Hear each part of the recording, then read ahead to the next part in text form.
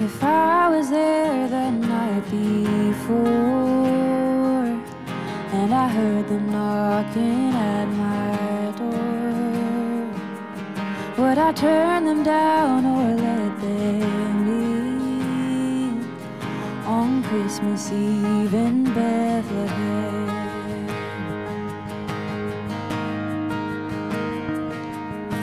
If I was watching